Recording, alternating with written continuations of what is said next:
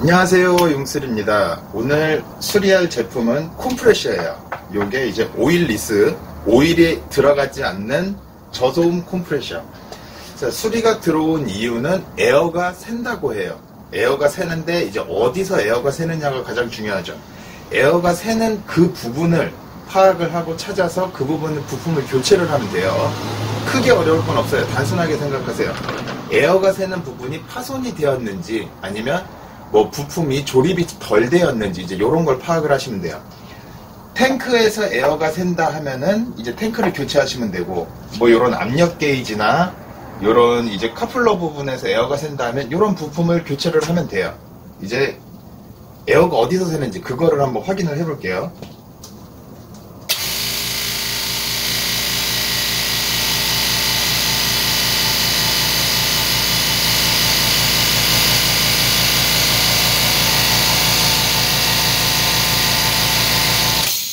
자, 소리를 잘 들어봐야 돼.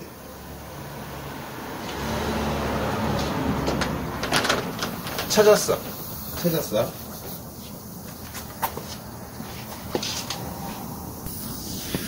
자, 에어가 새는 곳이 지금 이 제품 같은 경우는 이렇게 보시면 여기 여기 여기 지금 금이 같죠? 지금 이 부분에서 에어가 새요. 지금 이렇게 보면 여기 지금 카플러 부분에 테프론 테이프가 지금 굉장히 깨끗해요. 이 카플러를 교체를 하면서 이제 조금 과한 힘으로 조이다 보니까 지금 이 부분이 깨진 것 같아요. 이 부분이 알루미늄 합금이에요.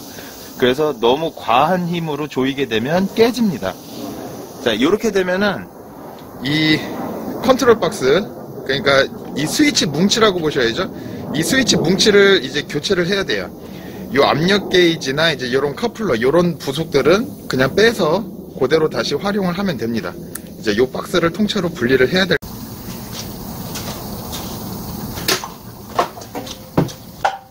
일단 탱크 내에 에어는 다 빼주셔야 돼요.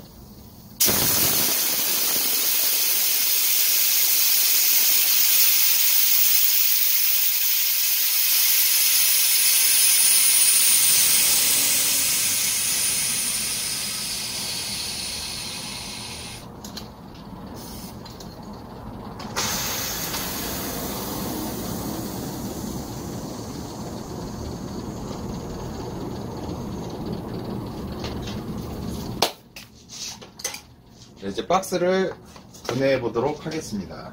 요 위에 십자 볼트가 하나 들어있어요. 그 십자 볼트 풀러야 돼요. 이렇게 십자 볼트 풀르면 뚜껑이 따집니다. 요 부분에 이제 전기 배선들이 막 연결돼 있어요. 이거를 다 풀러야 돼요. 풀르고 이제 새 부품에 딱 장착을 해줘야 돼요. 전기 요 배선들도 다 분해를 합니다.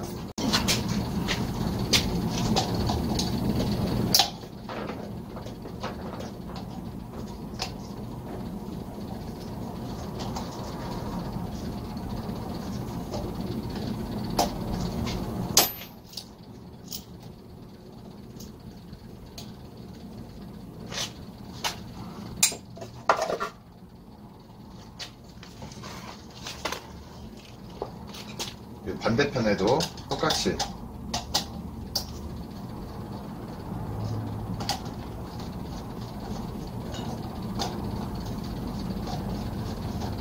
자 이렇게 배선을 분리를 했어요. 이제 요거를 뽑아야 되는데 요 스위치 뭉치 밑에 보면은 이렇게 각진 플라스틱 볼트 같은 게 있어요.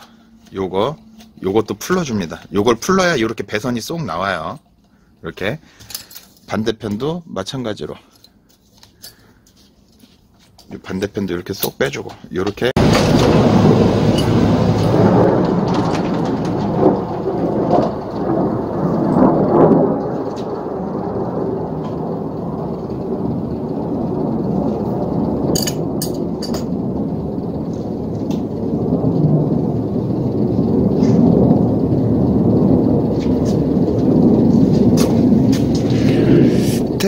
테이프를 너무 두껍게 마르셨네요. 너무 두껍게 말았으니까 이거를 어떻게든 깊이 박아보려고 꽉 조이다 보니까 저 알루미늄 body가 터진 것 같아요.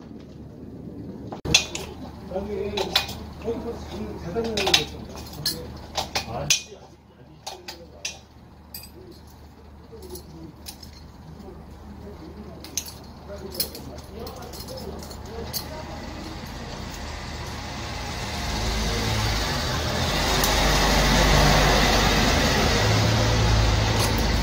자, 이렇게 압력 밸브, 안전 밸브 이것도 분리하고요.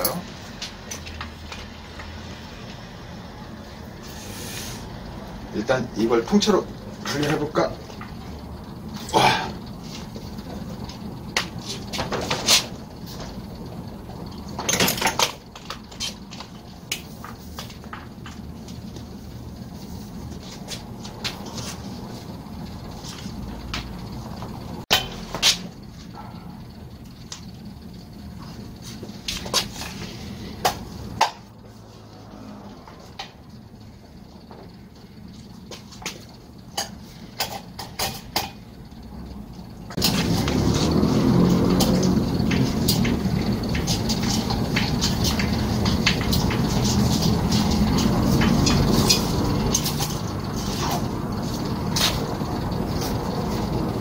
이렇게 분리했어요.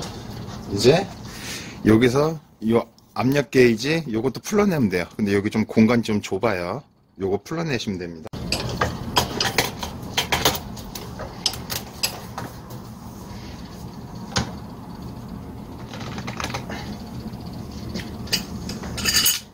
좀 좁은데.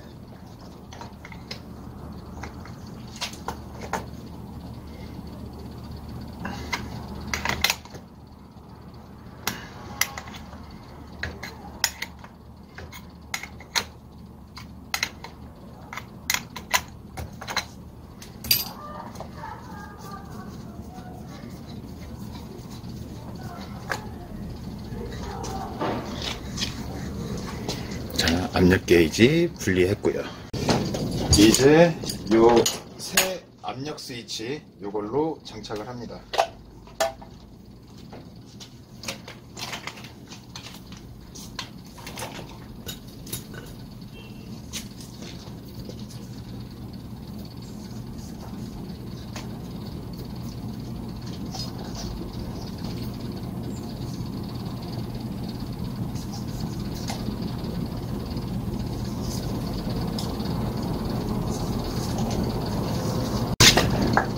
자, 테프론 테이프를 감고 이제 에어가 새지 않도록 본드를 요 록타이트 본드를 조금 발라줄 거예요.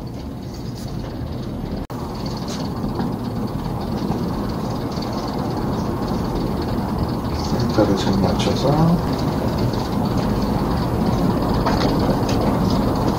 너무 세게 조이려고 하지 마세요. 손으로만 조여도 충분합니다.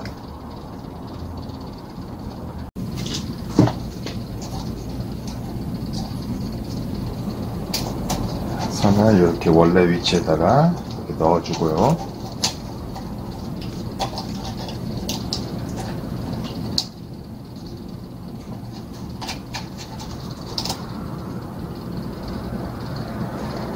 자, 요것은 접지.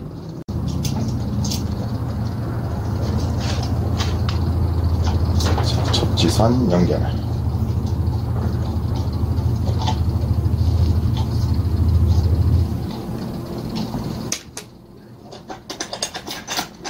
컴프레셔는 진동이 있기 때문에 진동에 이 볼트가 풀리지 않도록 조금 단단하게 조여주세요. 그리고 이 부분 선이 두 가닥이 연결되죠. 위아래 상관없어요. 위아래 자리가 이렇게 들어있던 게 이렇게 바뀌어가도 상관없어요. 그냥 하나씩 연결해 주면 됩니다.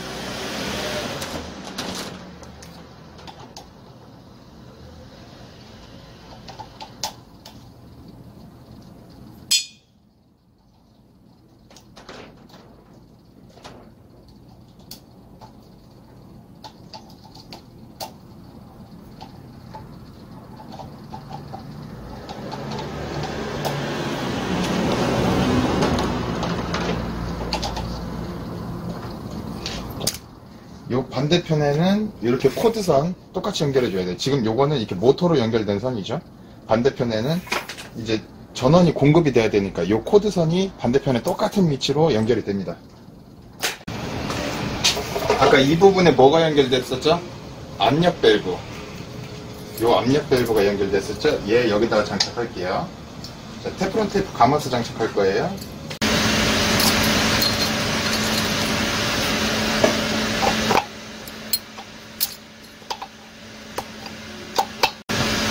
자, 이 앞부분에는 이제 에어호스가 연결되는 이 커플러.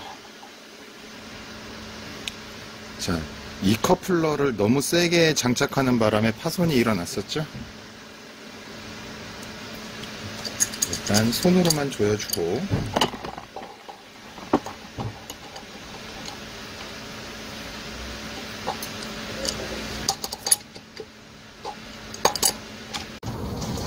자 이제 마지막으로 이 압력 게이지 압력 게이지도 장착을 합니다. 자 얘네들은 지금 커플러나 압력 게이지나 이런 게 다 이제 에어 공기를 공기를 이제 담당하는 부속들이기 때문에 이렇게 테프론 작업이 필요해요. 왜냐면 이제 본드 칠을 하면은 훨씬 더 쉽고 단단하고 이제 기밀도 더 용이하긴 한데 본드 칠을 하게 되면 나중에 이제 부품이 고장나서 이제 교체해야 될 상황이 생겼을 때 굉장히 어려워요. 그래서 이 부분에는 본드 칠은 하지 말고 그냥 테프론만 테프론 테이프만 감아서 장착하는 게 좋아요.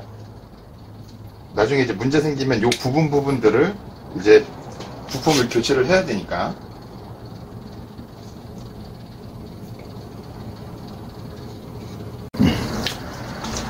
자 이제 테스트 이제 에어가 새지 않는지 이게 정상 작동하는지 테스트.